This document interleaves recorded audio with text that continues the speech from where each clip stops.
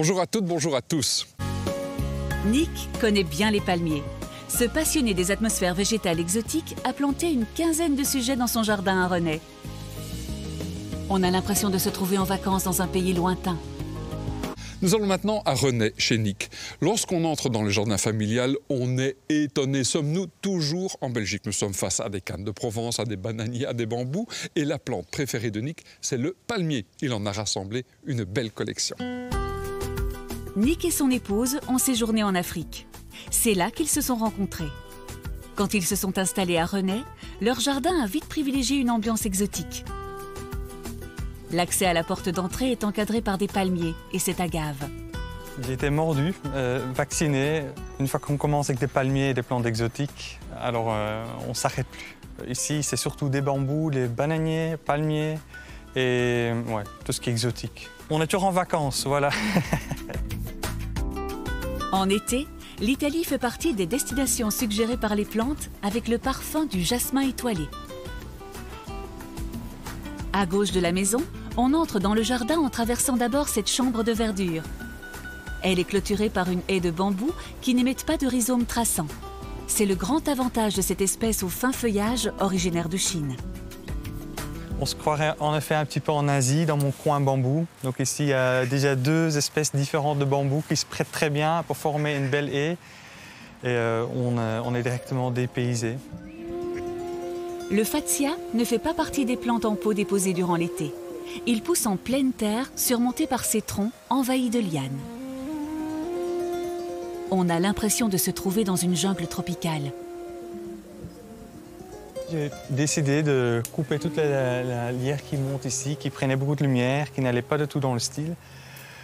Et en le dénudant, je me suis rendu compte que finalement, ça, ça donne un super effet. Et donc, j'ai laissé euh, les, les tiges en place pour donner ce style de, de liane qui va beaucoup mieux euh, dans mon jardin exotique. La transition vers le grand espace à l'arrière de la maison est assurée par le feuillage de ce yucca, qui résiste très bien au gel. Sommes-nous toujours en Belgique Quand la famille sort sur la terrasse, elle est transportée à des milliers de kilomètres.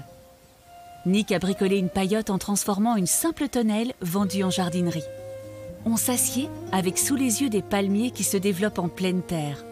Les palmes qui dansent sous le vent vous font rêver. C'est la magie du, palmier. un palmier, on se croit directement ailleurs. J'adore, euh, je suis fan. Et c'est ça qui m'a donné envie d'en planter autant tenter des autres espèces. Il y a des palmiers qui résistent plutôt bien, comme ici les Trachycarpus, qui résistent jusqu'à moins de 18 en conditions optimales.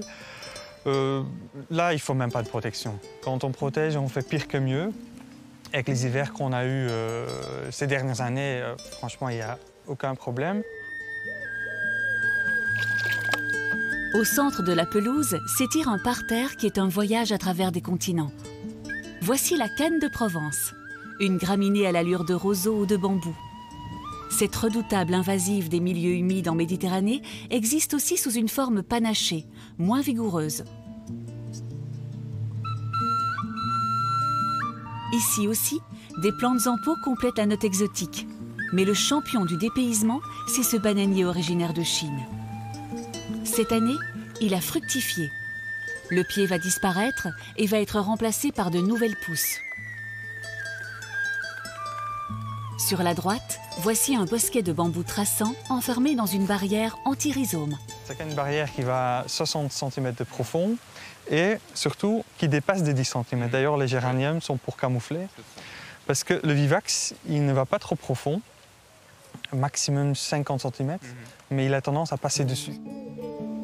C'est une bonne idée, ce géranium rampant pour dissimuler la barrière. Nick a attendu des années la germination de ce cocotier du Chili. Cette espèce à croissance lente forme des palmes différentes de celles déjà présentes dans le jardin.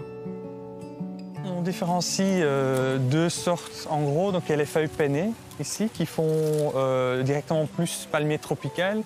Et puis les palmiers à feuilles palmées. les feuilles pennées sont souvent des palmiers plus fragiles mais qui font rêver. Quand on aime, on compte pas. Euh, j'ai quand même fait le bilan et euh, je pense que je dois avoir vers 29 espèces différentes, dont 16 ou 17 en pleine terre. Voici le palmier préféré de l'épouse de Nick. Toutes ces nouvelles palmes se sont développées cet été. Il pousse très vite, donc il, résiste plutôt bien parce qu'il s'adapte facilement. Et c'est le premier à repartir chaque printemps.